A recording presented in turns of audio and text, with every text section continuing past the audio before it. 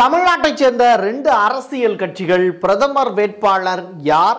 அந்த பிரதமர் வேட்பாளர் தமிழராக இருந்தால் நாங்கள் நிச்சயமாக பாஜகவுக்கு ஆதரவு கொடுப்போம் அப்படின்னு பேசி இருக்கக்கூடிய விடயம் இன்னைக்கு ஹாட் டாபிக்கா மாறி நிற்குது ஒன்று சீமான் இன்னொன்று துரை வைகோ.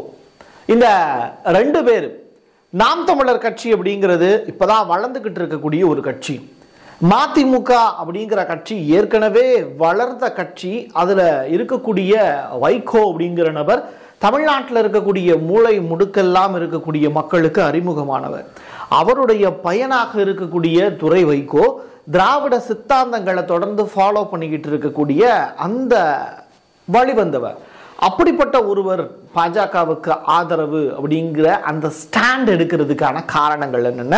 இது தமிழக அரசியல் களத்தில் அடுத்து வரக்கூடிய நாடாளுமன்ற தேர்தலில் என்ன மாதிரியான கூட்டணி மாற்றங்கள் இருக்கும் அப்படிங்கிறத பற்றியும் பெரிய அளவில் பேசுபொருளாக மாற்றிருக்கு முதலாவதாக அதிமுக பாஜக அப்படிங்கிற அந்த கூட்டணி அப்படிங்கிறது உடஞ்சு போச்சு. எடப்பாடி தன்னுடைய பாணியில் தனக்காக ஒரு கூட்டணியை அமைக்கிறதுக்கு பெரிய அளவில் போராட்டத்தில் ஈடுபட்டிருக்காரு. நாம் தமிழர் கட்சியும் அவர் கூப்பிட்டாரு. விசிகாவினுடைய திருமாவளவனை அவர்களையும் கூப்பிட்டார்.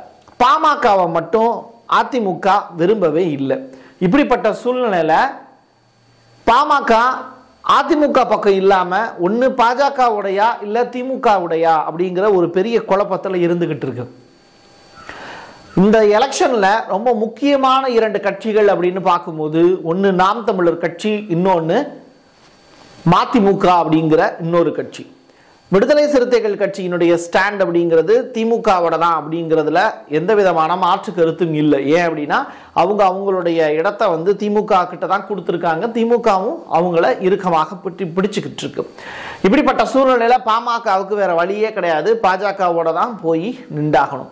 தேமுதிக பிரேமலிதா வந்து எனக்கு சென்ட்ரல் மினிஸ்டர் போஸ்டிங் கொடுங்க அப்படின்லாம் கேட்டு இப்போது ஆளுநர்கிட்டையும் பெட்டிஷன் கொடுத்து இப்போது அது பெண்டிங்கில் இருக்குது இப்படிப்பட்ட நிலைமையில் அவங்களும் பாஜகவோட வருவாங்களான்னு கேட்டால் பாஜக முதல்ல அவங்கள கூப்பிடுவாங்களா அப்படிங்கிறது ஒரு டவுட்டு இப்படி நாடாளுமன்ற தேர்தலுக்கான கூட்டணி வியூகம் அமைக்கிறதுல பெரிய பெரிய கட்சிகள்லாம் போட்டி போட்டுக்கிட்டு இருக்கக்கூடிய நேரத்தில் தேசிய கட்சியாக இருக்கக்கூடிய ரெண்டு கட்சிகளுடைய முடிவு என்ன அப்படிங்கிறது ரொம்ப முக்கியமானது. அதில் ஒன்று பாஜக இன்னொன்று காங்கிரஸ். காங்கிரஸை பற்றி அடுத்து பேசுவோம். இப்போ பாஜகவில் அந்த பிரதமர் வேட்பாளர் யார் அப்படின்னு சீமான் கிள்ளி போட்டு இருக்கக்கூடிய அந்த பற்ற வைத்திருக்கக்கூடிய அந்த நெருப்புங்கிறது இன்னைக்கு தமிழ்நாடு முழுவதும் செய்தி சேனல்களில் கொழுந்து விட்டு எரியுது. அப்படி என்ன பேசினார் சீமான் அப்படிங்கிற ஒரு கேள்வி. எங்க அண்ணன் பொன் ராதாகிருஷ்ணனோ தம்பி அண்ணாமலையோ சிபி ராதாகிருஷ்ணனையோ இங்கே தமிழ்நாட்டில் இருந்து பிரதமர் வேட்பாளராக பாஜக அறிவிக்கும் என்றால் நாங்கள் எங்களுடைய கொள்கைகளாகட்டும் கோட்பாடுகளாகட்டும் எல்லாத்தையும் தூக்கி போட்டுட்டு எங்களுடைய இது நாள் வரைக்கும் பாஜகவை விமர்சித்த நாங்கள் பாஜகவுடன் மறுபடியும் கைகோர்க்க தயார் அப்படிங்கிற ஸ்டேட்மெண்ட்டை பதிவு செஞ்சிருக்கார். அப்படின்னா என்ன? தமிழ்நாட்டில் இருந்து யாராவது ஒருவர் அதுவும் குறிப்பாக தம்பி அண்ணாமலை அங்கே பிரதமர் வேட்பாளராக அறிவிக்கப்பட்டார் என்றால் பாஜகவுடன் நாம் தமிழர் கட்சி கூட்டணி வைப்பதற்கு தயாராக இருக்கிறது அப்படிங்கிறது தான் சீமான் உதிர்த்த வார்த்தைகள். எவ்வளோ பெரிய விஷயம்? ரொம்ப சாதாரணமாக வந்து பார்த்தீங்கன்னா இது வந்து பொது மேடைகளில் சீமான் பேசியிருந்தார் அப்படின்னா அது ஒரு வெறுமன பேச்சுக்கு அப்படின்னு சொல்லிட்டு போயிடலாம் நாம் தமிழர் கட்சியினுடைய தம்பிகள் கள்ளக்குறிச்சியில் முக்கியமான ஒரு மீட்டிங் அந்த மீட்டிங்குள்ள அதாவது இன்னர் பாடி மீட்டிங் அப்படிம்பாங்க. உள்ளுக்குள்ள உட்கட்சிக்குள்ள பேசக்கூடிய விஷயங்கள். அந்த இடத்துல இவர் பேசியிருக்கக்கூடிய விஷயம் அப்படிங்கிறது அங்கே இருக்கக்கூடிய தொண்டர்களையும் சரி தம்பிகளையும் சரி பெரிய அளவில் ஆச்சரிய கடல்ல மூழ்த்தி இருக்கு அப்படிங்கிறது தான் சொல்லணும். ஏன் அப்படின்னா இப்படி ஒரு ஸ்டேட்மெண்ட்டை சீமான்ட்ட இருந்து அவங்க எதிர்பார்த்திருப்பாங்களான்னு தெரியாது. ஆனால் தொடர்ச்சியாக சீமானை ஃபாலோ பண்ணிக்கிட்டு இருக்கக்கூடிய அடிப்படையில் அவருக்கு நெருக்கமாக இருக்கக்கூடிய நபர்கள் இந்த தடவை பாஜக பக்கம் அவர் சாயறதுக்கான வாய்ப்பு இருக்கு அப்படிங்கிற மாதிரியான விஷயங்கள் பதிவு செய்கிறாங்க ஏன்னா டிஎம்கேக்கு இந்த தடவை டிஎம்கே சைட்லேருந்து அவருக்கு கொடுத்த ப்ரெஷர் அப்படிங்கிறது விஜயலட்சுமி மூலியமா ஏகப்பட்ட ப்ரெஷர் இருந்தது. அதனால சீமான் வந்து இந்த ஸ்டாண்ட் எடுக்கிறதுக்கான வாய்ப்பு இருக்கு அப்படிங்கிறாங்க. ஸோ அந்த ஒரு விஷயத்தை முன்னிலைப்படுத்துறதுக்கு பிஜேபியை டேரக்டாக ஆரம்பி ஆதரிக்க முடியாது. ஏன்னா இவ்வளவு காலம் நாம் தமிழர் கட்சி ஒரு ஸ்டாண்டில் தெளிவாக இருந்தது. நாங்கள் பாஜகவை எதிர்க்கிறோம் பாஜகவை எதிர்க்கிறோம். ஆனால் தமிழர் ஒருவர் பிரதமர் வேட்பாளராக தமிழர் ஒருவர் பிரதமர் வேட்பாளராக அறிவிக்கப்பட்டார் என்றால் நாங்க பாஜகவோட கூட்டணி வைக்க தயார் அப்படின்னு அந்த புதிய ரோடு ஒன்று ஃபார்ம் பண்றாங்க. அதாவது ஏற்கனவே போட்டிருக்கக்கூடிய ரோட்ல பயணப்படுறது அப்படிங்கிறது அங்க இருக்கக்கூடிய முள் இருக்குமா என்ன ஏது அப்படிங்கிறதுலாம் தெரிஞ்சுட்டு போறது வேற. இன்னொரு புறம் புதிதாக ஒரு ரோடை நம்மளே அமைச்சு அதுல பயணப்படுறது வேற. சீமான் இந்த மாதிரியான செகண்ட் ஸ்டேட்மெண்ட்டை வந்து ரெடியா வச்சிருக்காரு. இது நல்ல ரூட்டா இருக்கே அப்படின்னு சொல்லிட்டு துறை வைக்கவும் பின்னாடியே வந்துட்டார். காரணம் என்ன அப்படின்னா திமுகவில் அவருக்கான அங்கீகாரம் அப்படிங்கிறது கொடுக்கப்படலை. மதிமுகவினுடைய அவர் வைகோவுக்கு இருக்கக்கூடிய அதிகாரமும் அங்கீகாரமும் எப்படி திமுகவில் அவருக்கு பெரிய அளவில் கொண்டாடினாங்களோ அதே மாதிரியான கொண்டாட்டம் துறை வைகோவுக்கு இங்கே கிடைக்கல. அவருக்கு உண்டான மரியாதையும் அங்கீகாரமும் கொடுக்கப்படலை. ஏன் அப்படின்னா இப்போ தான் அவர் வந்து பார்த்தீங்கன்னா உள்ளுக்குள்ளே என்றாய் வளர்ந்துக்கிட்டு இருக்காருங்கிறதுனால அவருக்கான அங்கீகாரம் கொடுக்கறதுக்கு திமுகவும் மறுத்துக்கிட்டு தான் இருக்குது ஆனால் ம- வைகோ சொன்னார் அப்படின்னா அடுத்து வந்து ஒரு எம்பி போஸ்டிங் கிடைக்கிறதுக்கான வாய்ப்பு இருக்குது அப்படின்னு சொல்கிறாங்க இது எல்லாத்தையும் தாண்டி துறை வைகோவுக்கு அரசு இல்லை நாட்டுமே இல்லை. ஆனால் பெரிய அளவிலான எலெக்ஷனுக்கு ஒரு பெரிய தொகை கைமாறணும் அப்படின்னா மதிமுகவினுடைய வாக்குகளை பாஜக பக்கம் திருப்புறதுக்கான விஷயங்களையும் இரட்டை தொகுதிகளோ மூன்று தொகுதிகளோ கேட்டு வாங்கி அதில் ஏதாவது ஒரு தொகுதியில் ஜெயிச்சு அங்கே எம்பி போஸ்டிங்கில் போய் உக்காந்துடணும் அப்படிங்கிறது தான் துறை வைகோவினுடைய ஸ்டாண்ட் ஸோ இவர் டிஎம்கேல இருந்து தொகுதிகள் கிடைக்கல அப்படின்னா பாஜகவுக்கு மூவ் ஆகுறதுக்கு என்ன வாய்ப்புன்னு யோசிச்சுக்கிட்டே இருந்தவர் சீமான் பேசின ஸ்டாண்டை நான் ஆதரிக்கிறேன் அப்படின்னு சொல்லிட்டு மருதுபாண்டியருடைய விழா ஃபங்க்ஷனில் அவர் இந்த ஸ்டேட்மெண்ட்டை சொல்லியிருக்கார். எப்படி? தமிழர் ஒருவர் பிரதமராக வேண்டும் அப்படின்னு சீமான் சொல்லி இருக்கக்கூடிய விஷயத்தை நான் கண்டிப்பாக ஆதரிக்கிறேன். பாஜக மோடிக்கு பதிலாக புதிதாக ஒரு நபரை பிரதமர் வேட்பாளராக அறிவித்தால் அதுவும் அண்ணாமலையாக இருந்தால் கூட நாங்கள் அதை ஆதரிப்போம் அப்படிங்கிற ஸ்டேட்மெண்ட்டை பதிவு செஞ்சிருக்கார். நீங்க நல்லா யோசிச்சு பாருங்க. இந்த இடத்துல பிரதமர் வேட்பாளரை மாத்தணும் மாத்தணும் மாத்தணும்னு தமிழ்நாட்டில் இருந்து ஒரு குரல் அதாவது படித்த பட்டதாரிகள் அதிகமாக இருக்கக்கூடிய தென்னிந்தியாவினுடைய ஓட் பேங்க் டோட்டல் வந்து பார்த்தீங்கன்னா சேஞ்ச் ஓவர் கொடுக்கக்கூடிய இந்தியாவுக்கே சேஞ்ச் ஓவர் கொடுக்கக்கூடிய ஒரு மாநிலம் அப்படின்னா தமிழ்நாடு அரசியல் தான். ஸோ தமிழ்நாடு அரசியலில் ஒரு சேஞ்ச் ஓவரை ஏற்படுத்தினாங்க அப்படின்னா ஒட்டுமொத்த இந்தியாவுக்குமான சேஞ்ச் ஓவராக இருக்கும். அதை ரொம்ப தெளிவாக புரிஞ்சுக்கிட்டு தான் பாஜக இந்த ஸ்ட்ராட்டஜியை ஃபாலோ பண்ணுது. அதற்கு ஏற்கனவே நாம் தமிழர் கட்சியினோட கூட்டணி ரிலேட்டடாக பேச்சுவார்த்தை நடத்திக்கிட்டு இருந்தது உண்மைதான். மதிமுக டை பேச்சு கூட்டணி பேச்சுவார்த்தை நடத்திக்கிட்டு இருந்தது ஒண்ணுதான். ஆனா மக்கள்கிட்ட என்ன சொல்லி நம்ம இந்த கூட்டணியில முன்வைக்க போறோம்? அஜெண்டா என்ன? கொள்கை என்ன? ரெண்டாவது நம்மளுடைய தேர்தல் அறிக்கை எதை ஒத்தி இருக்க போகுது? அப்போ தமிழர் ஒருவர் இவ்வளவு நாள் வரைக்கும் நம்ம எதை ஃபாலோ பண்ணோம்? தமிழர் ஒருவர் அப்படின்னு. ரெண்டாவது பிரதமர் நரேந்திர மோடி தமிழருக்கு ஆதரவாக தான் த- செங்கோல் அப்படிங்கிற ஒரு விஷயத்துல நாடாளுமன்றத்தில் கொண்டு போய் நட்டு வச்சார். அதெல்லாம் வந்து இப்போ ஆர்எஸ்எஸ்க்கு பிடிக்கல. ஸோ ஆர்எஸ்எஸ் சைட்லையும் வந்து மோடிக்கு ஒரு நெகட்டிவ் இமேஜ் இருக்கிறதா சொல்லப்படுது. வரக்கூடிய ஐந்து மாநில தேர்தல் வந்து டிசம்பர் நவம்பர் மாதம் நடக்க இருக்கு. இந்த ஐந்து மாநில தேர்தலில் பாஜக ஒருவேளை தோல்வி அடைந்தால் இப்போ கிரவுண்ட் ரிப்போர்ட்டே வந்து பாஜக தோத்துரும் தான் சொல்றாங்க. சோ இந்த ஐந்து மாநில தோ- தேர்தலுடைய வெற்றி அப்படிங்கிறது த்ரீ இஸ்டு டூ அதை யார் கைப்பற்ற போறா அப்படிங்கிறது தான்.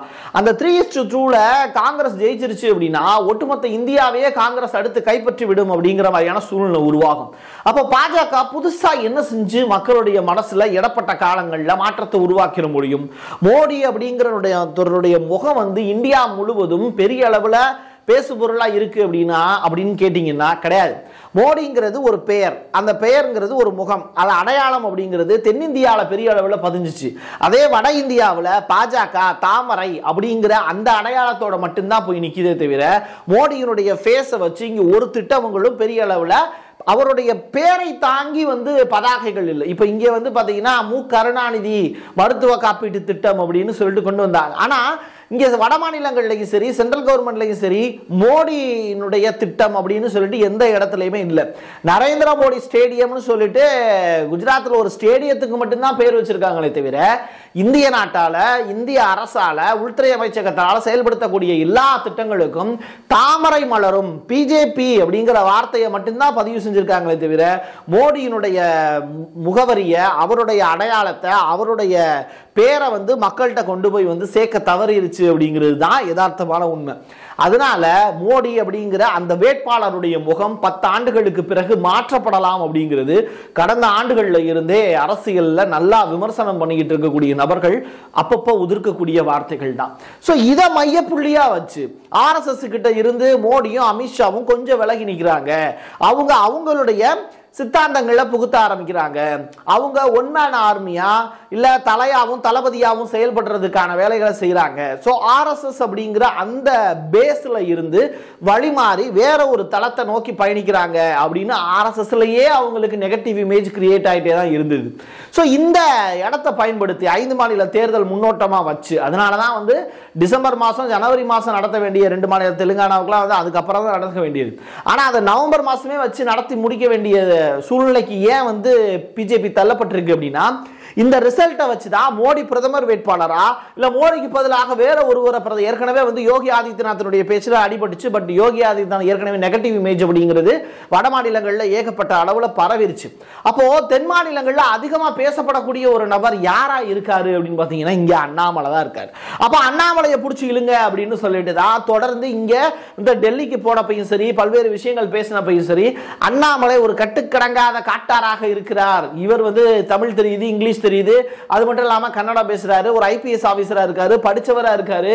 அது மட்டும் இல்லாமல் கருப்பாக இருக்காரு தமிழராக இருக்காரு. இதை விட வேற என்ன தகுதி வேணும் அப்படின்னு சொல்லிட்டு பெரிய அளவில் பிஜேபியினுடைய நல்ல அபிமானமான ஒரு நபராக நல்லா தெரிந்த ஒரு முகமாக வட மாநிலங்கள்லையும் பெரிய அளவில் இவரை கொண்டு போய் சேர்த்துட முடியும்.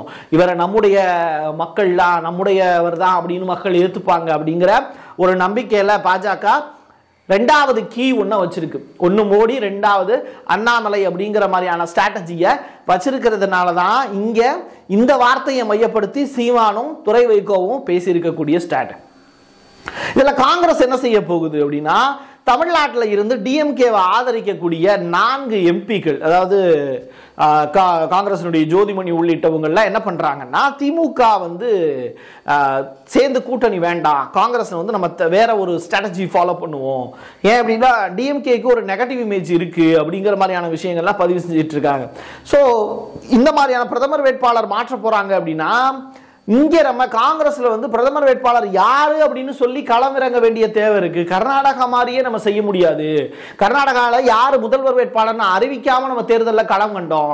ஆனால் இங்கே பிரதமர் வேட்பாளர் யாருங்கிறத சொல்லிட்டு தான் நம்ம களங்கண முடியும். ஏன்னா இங்கே பாஜக அந்த அஜெண்டாவை உடச்சி தான் புதுசாக ஒரு ரூல் கொண்டு வரப்போகுது அப்போது இங்கே பிரதமர் வேட்பாளர் யார் அப்படிங்கிறத முன்னிலைப்படுத்தி தான் அடுத்து வரக்கூடிய நாடாளுமன்ற தேர்தலே இருக்குங்கிறது தான் அந்த காங்கிரஸ்ல இருந்து அந்த நாலு எம்பிக்கள் காங்கிரசினுடைய மேலிடமா இருக்கக்கூடிய மல்லிகார்ஜுன கார்கே சோனியா காந்திக்கு கொடுத்திருக்கக்கூடிய அட்வைஸ் ஸோ இது எல்லாத்தையும் வச்சு கால்குலேட் பண்ணும்போது மோடி இந்த பக்கம் அண்ணாமலை அப்படிங்கிற ஆப்ஷன் வச்சிருக்காங்க. இந்த பக்கம் காங்கிரஸ் சைட்லையும் சோனியா காந்தி பிரியங்கா காந்தி அப்படிங்கிற சாரி சோனியா காந்தியினுடைய மகளாக இருக்கக்கூடிய பிரியங்கா காந்தியும் ஒரு அஜெண்டாவை வச்சிருக்காங்க. அதே நேரத்தில் ராகுல் காந்தியும் ஒரு அஜெண்டாவை வச்சிருக்காங்க. இதெல்லாம் தாண்டி யார் பிரதமர் வேட்பாளர் அப்படிங்கிற கேள்விதான். அதற்கு உண்டான பதில ரெண்டு கட்சிகளும் எதை வந்து மக்கள்கிட்ட கொண்டு போய் வைக்க போகுது? அப்படி மக்கள் நலன் சார்ந்த விஷயங்களை யோசிக்காம பிரதமர் வேட்பாளர் யாரு அப்படிங்கிறத அந்த புதிய முகத்தை எதிர்பார்த்து தான் இன்னைக்கு இருக்கக்கூடிய மக்கள் காத்து கிடக்குறாங்க. இது தென்னிந்திய மாநிலங்கள் மட்டுமல்ல வட இந்திய மாநிலங்கள்லையும் இதே நிலைமை தான் அப்போ பத்து வருஷம் போர் அடிச்சு போன ஒரு முகத்தை தூக்கி போட்டுட்டு புதிய ஒரு முகத்தை கொண்டு வந்து நிப்பாட்டுவதற்கான வாய்ப்பை தமிழ்நாட்டில் இருந்து தொடங்குறதுக்கான அந்த பேச்சு வந்து இப்போ தொடங்கியிருக்கு ஸோ இது எங்கே போய் முடிய போகுது அப்படிங்கிற ஒரு விஷயமும் ரொம்ப முக்கியமானது. ரெண்டாவது தமிழ்நாட்டில் இருந்து ஒரு பிரதமர் வேட்பாளர் இதுக்கு முன்னாடி உருவாயிருக்காங்களான்னு கேட்டால் சுதந்திரம் அடைஞ்ச காலத்துல இருந்து யாருமே இல்லை. ஒரு ஜனாதிபதி போஸ்டிங் ஒன்று கிடச்சிது. அப்துல் கலாம் போஸ்டிங் அப்துல் கலாம் அப்படிங்க ரெண்டாவதா அவர் ஜனாதிபதிக்கான போஸ்டிங்லையும் அவரை போய் உட்கார வைக்கணும்னு சொல்லும்போது அதுக்கும் தமிழ்நாட்டில் இருந்து தான் எதிர்ப்பு வந்தது. அதனால அவருக்கு அந்த வாய்ப்பு கிடைக்கல.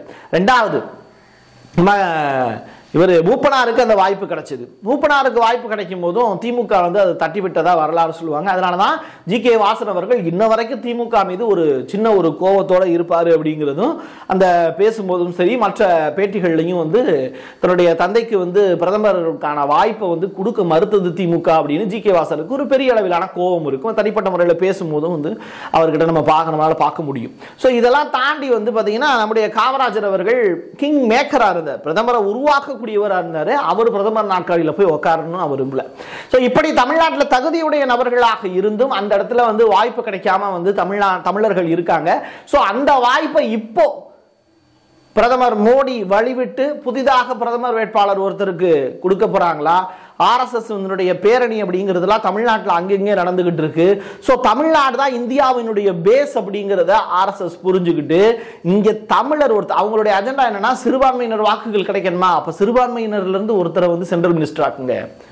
சிறுபான்மையினருடைய அடையாளம் தான் இங்கே தமிழ்நாட்டினுடைய அடையாளம். அப்போ சிறுபான்மையினர் சேர்ந்த ஒருத்தர் எல் முருகனை தலைவராக்குங்க அப்படின்னு சொல்லிட்டு தமிழக பாஜக கொண்டு வந்தாங்க.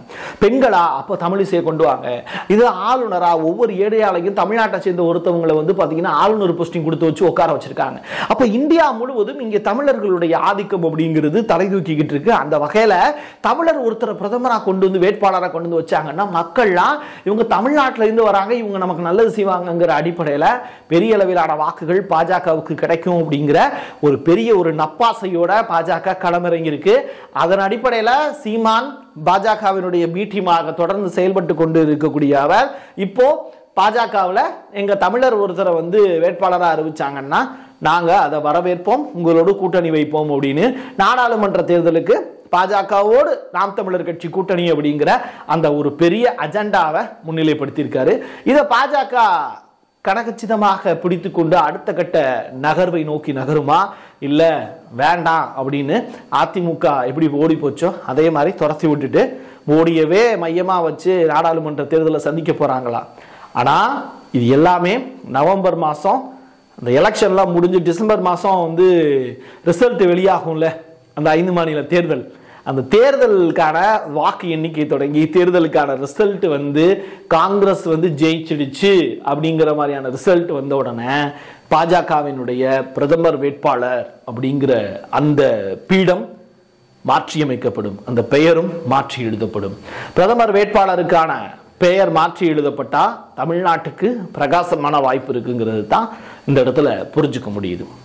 இதையே உங்கள்கிட்ட வந்து சொல்கிறேன் அப்படின்னா அரசியலில் ஏகப்பட்ட விஷயங்களில் மாற்றங்கள் நிகழ்வு இதெல்லாம் நடந்துருமா அப்படிங்கிறதா இதுவும் நடக்கலாம். ஏன்னா அரசியலில் எதுனாலும் நடக்கலாம் அப்படிங்கிறது தான் இதுக்கு முன்னாடி நடந்த வரலாறு.